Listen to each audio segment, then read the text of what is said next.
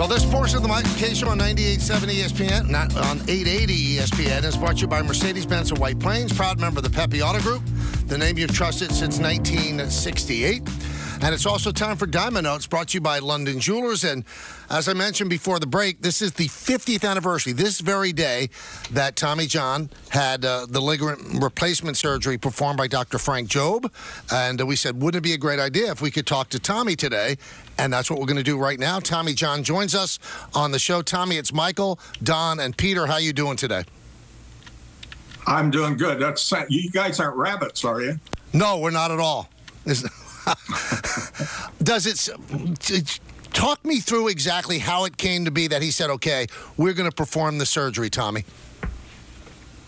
Well, I'm pitching in 1974, and I'm going up against uh, Montreal, and it's the third inning, and um, they've got two men on base, and so I'm I'm in my stretch, and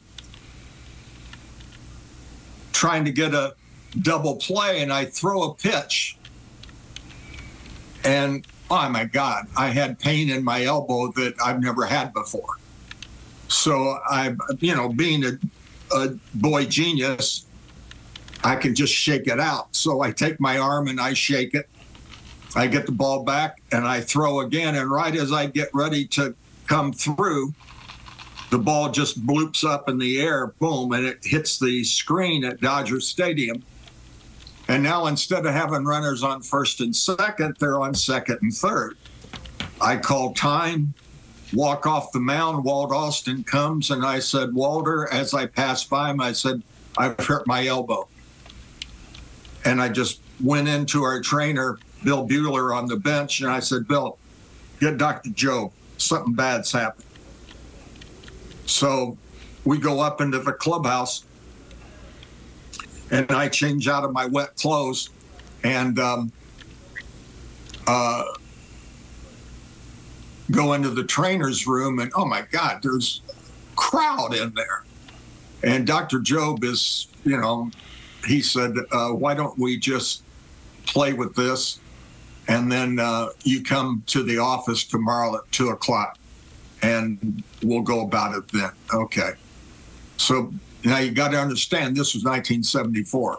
There were no MRIs, no CT scans, nothing like that.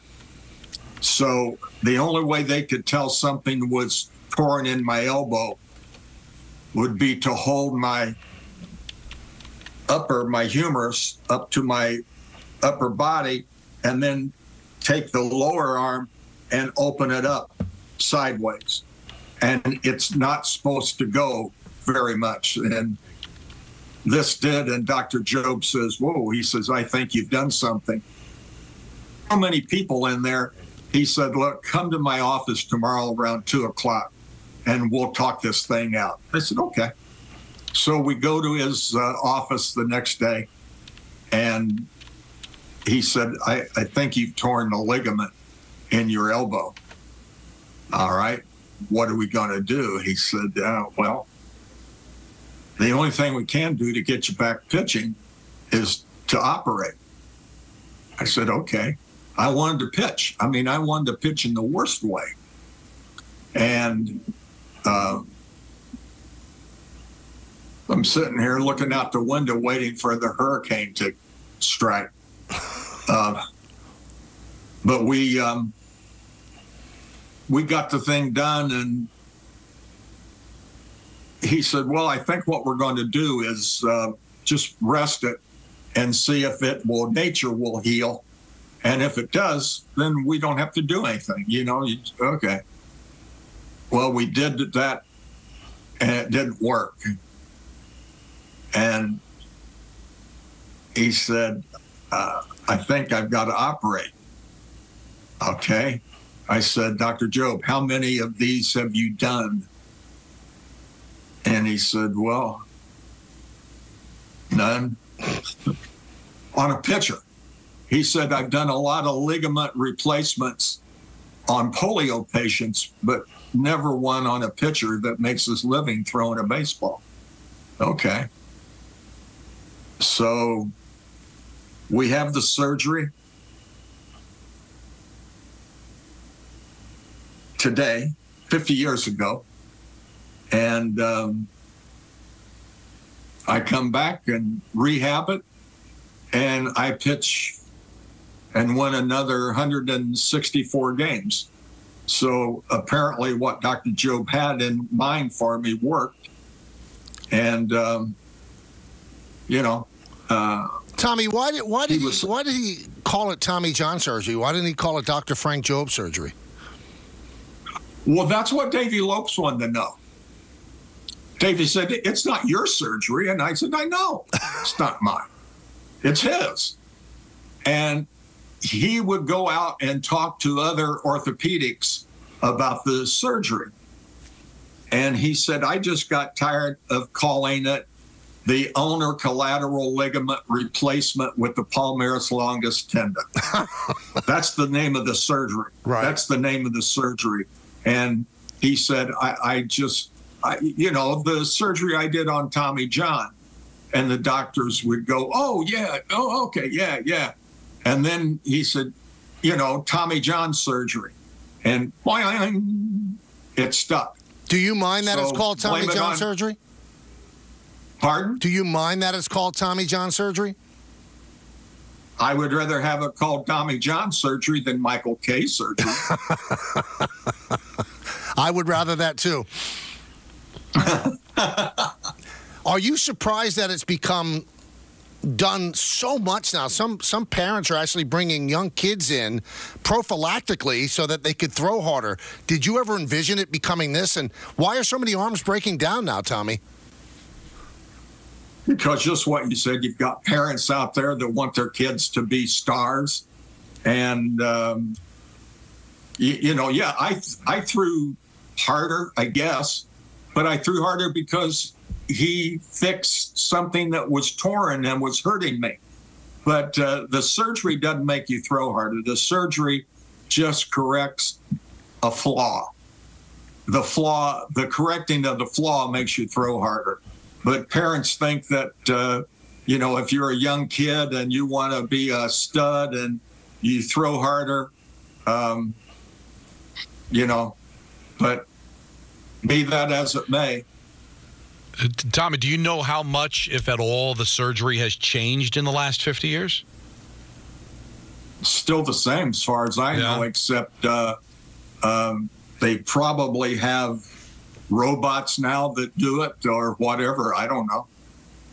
So there have been over 2,400 Tommy John surgeries performed on the elbows of professional baseball players, which is amazing. And I've always said, you're the first one to have this, you know, this groundbreaking surgery. You Yeah. also won 288 games, and I, maybe this is not a question for you, but for the people that vote on such things, why are you not in the Hall of Fame? I mean, you're such a big part of baseball history.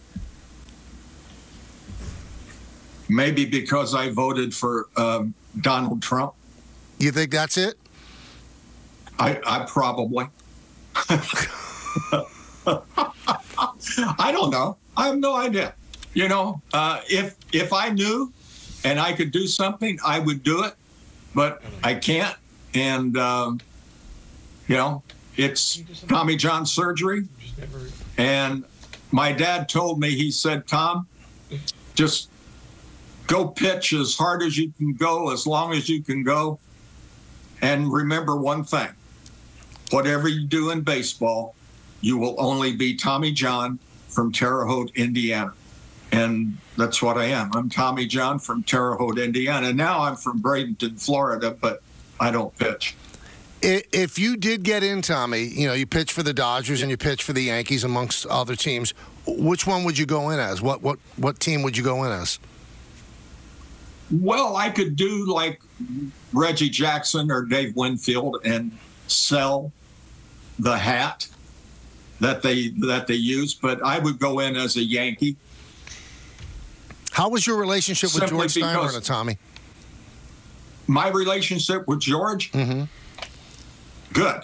George was okay. He was paying the ass, but but he, he was okay. And you mentioned that you um, you know, spend time, you know, in Florida, but you also spent a lot of time in New Jersey. And, uh, and you probably don't remember this, but you did help a young 18 year old Don LaGreca at Ramapo College during a clinic. I was the only kid that had a beard, and uh, you helped me through. I never made it. I got cut from my college team, but it wasn't because of you or a tutelage. That was that was fun. Yes, it was probably... because of your beard? I think it was because of my beard, but yes, I'll probably show the picture. So in the clinic, Michael, we it was inside, and they had these artificial mounds that we were pitching off of, and I got a chance to get uh, taught by Tommy John, and you got a picture at the end of it. So yes, Mike, I show see it, right there. Yeah. so I ended up getting in the radio, but you know what? It was still a thrill, and I really appreciate that. That was eight, I was 18, so that was that was a long, long time ago. Wow. Yeah, I guess. You spent a lot of time, even after your career. I know you spent a lot of time in New Jersey, right? Well, I lived there. Yeah. And uh, because I played for the Yankees. Mm. And when I pitched for the Dodgers, I lived in Orange County, uh, a city called Yorba Linda, the birthplace of uh, Richard Nixon. But anyway, you know, I, I lived where I played. And um, I was I was a New Yorker. Let me ask you, we're talking with Tommy John 50 years ago today. He had the famous surgery that's named after him. What do you think of baseball now where, you know, you had so, I think you had 124 complete games, I might be off a couple, that pitchers, if they give you six innings, wow, what a great performance. And it's just a different game than when you played. What do you think of the game now? I don't know. I don't watch it. It's, it's not the game I played. Um, you know, like you said, a pitcher goes five innings, six innings. Oh my God, what a workhorse! My, no workhorse. Hmm. hmm. How do you think you can stop this, though? I mean, how do you think you can stop all the? T- you can't. You can't. Why not? You, because I don't run baseball. Right. Well, if you did, how would you stop it? Say a pitcher has to go um, at least seven innings before it's a game that can be posted as a W. Mm-hmm. Um, you know, I mean, you you've got these guys now that um, are running the game that they have their radar gun out there, you know, holding up. Oh man, look at that, 98. Oh, he can pitch. He couldn't get me out, but he throws 98. Yeah, it's a completely different game than the one that that that, that you played for sure. Tommy, we're glad totally. you, we're glad that you could join us today. Fifty years, it, it, I'm sure it doesn't seem like that long to you. Uh, before we let you go, how how are you feeling these days? Um, mainly with my left hand. now that it's fixed, yes. Uh, but anyway, hey, I want to let you guys know one thing. Uh, I'm proud to announce that uh, next year, in 2025, Nick Hagan is producing uh, a documentary about me. And it follows me through my Terre Haute roots, growing up, playing Little League, Babe Ruth, American Legion, uh, signing with the Cleveland Indians, you know, all my career in uh, the major leagues, and then the surgery, and um, follows my 26 year career and it's it's going to be out in 2025. So everybody out there, be on the lookout. Good stuff, Tommy. Thank you. Continued health. Uh, I appreciate you coming on. Thanks, Tommy. You got it. Thanks, guys. That's Tommy John. 50 years ago today, really, baseball was changed. And, you know, Frank Jobe uh, was given a speech where Sandy Koufax was um, at the speech. And he actually apologized to Sandy Koufax. And he said, I'm sorry if I had come up with this a couple of years earlier, you still would have pitched. Because Sandy ended up retiring at 31, 30 or 31, because his elbow was hurting so much he couldn't pitch.